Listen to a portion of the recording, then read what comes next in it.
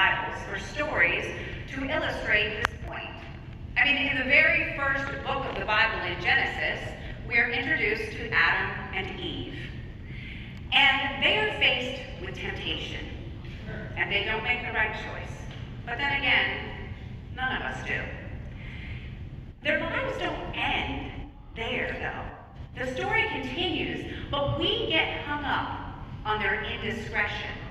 And then we get hung up present day of our own indiscretions and the indiscretions of others, and we don't bother to turn the page. But if you keep reading, verse 22 of chapter 3 in Genesis says, Then the Lord God said, See the man has become like one of us, knowing good and evil. He might reach out his hand and take also from the tree of life and eat and live forever. Therefore the Lord God sent him forth from the Garden of Eden to till the ground from which he was taken. So God forgives him, just like he forgives us. And it goes on to say that Adam lives to be about 130 years old. So clearly, his story continued beyond eating from the forbidden tree. I saw this demonstration on Facebook, and I thought that it illustrated a point that I wanted to make. Take this can of soup. It's less than a pound, okay? Almost 11 ounces. Now, if I hold out this can of soup for five minutes, what do you think is going to happen? It's going to start to get tired, but for five minutes, it probably won't be too, too bad, right? But what's going to happen after about an hour of me just holding out this can of soup? It's going to start to get really tired. And then if I continue to hold it for another hour or maybe three hours, what do you think is going to happen to my arm? It's probably going to be about down near my side. The can of soup didn't change. That stayed the same. But what happens in our life is that we hold on too tightly to things that happen in our past. And then what happens is it starts to drag us down. The sins of our past, we just can't seem to completely hand over to God. And then there's times when we don't think about those things for months or maybe even years at a time, but then somebody says something, and then suddenly it's at the surface again. And the person who jogged that memory really doesn't even realize how it's impacting us. But there we are, reliving it again after we've buried it. Your guilt has you clinging to that, even though God has already relinquished his grace on you a long time ago. Gloria Vanderbilt died this week, and I was watching some stories about her life. And she was born famous. I mean, her story and life played out in the headlines, and a lot of people probably considered her to be pretty fortunate and lucky. But she had a lot of tragedy in her life. Her dad died when she was one, and at the age of 10, she was in the middle of a custody battle with her mom and her aunt. And her aunt won. She was married four times, and she witnessed one of her sons commit suicide. He was literally on the edge, and she was trying to talk him off, and he jumped. And she had to live with that for her entire life. Something she said is worth repeating. She said, without pain, we cannot know what joy is. And without pain, we don't know that we're alive. And there are times when someone we love dies or we lose someone in our life.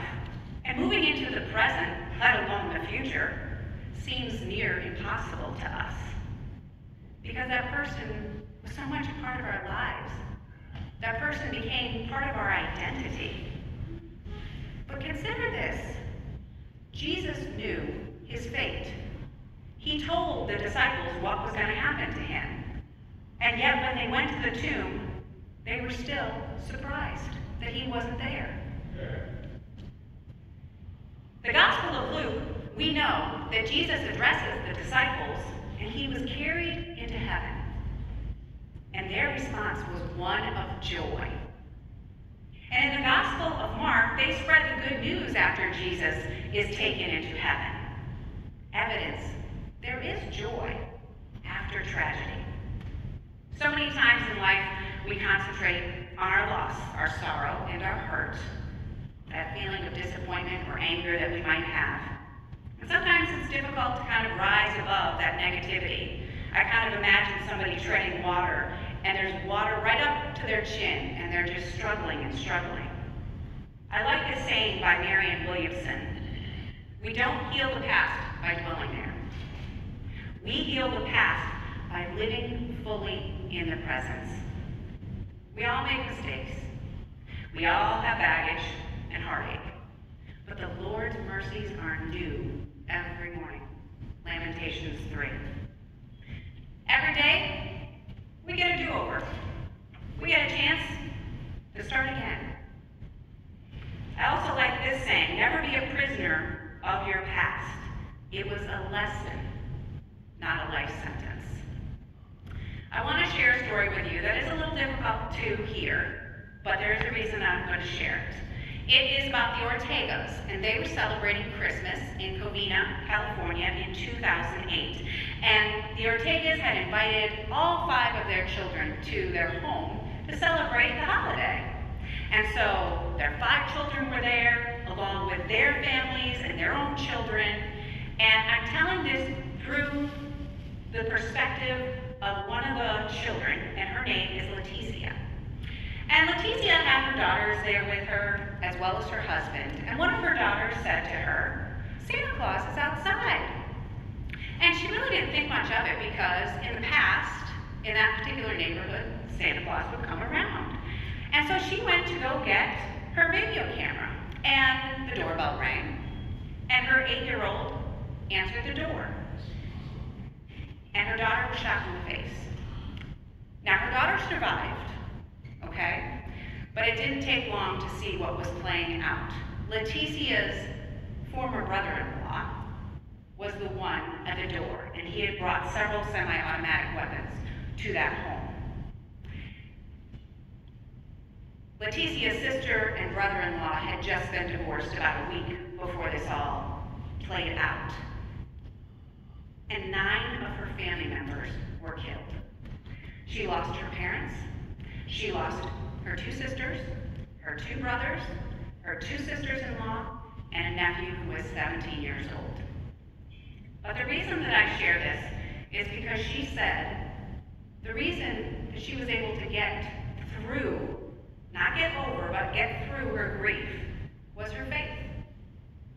She said, I can't do anything about what happened. I can't change it. But I can focus on what's brought to me.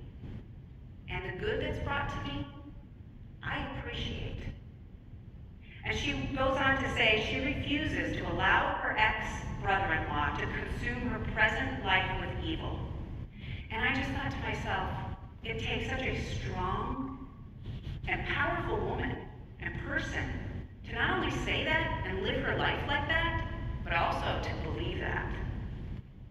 And the reason I share this story is to show you that life can exist beyond tragedy. Sometimes it may be hard to fathom, and you may not feel like it's even possible. But God is good, and He wants us to be happy. He doesn't want us to wallow in our grief, but He does understand that we are going to be sad. He does understand that we will weep when we lose someone special or when something bad happens to us.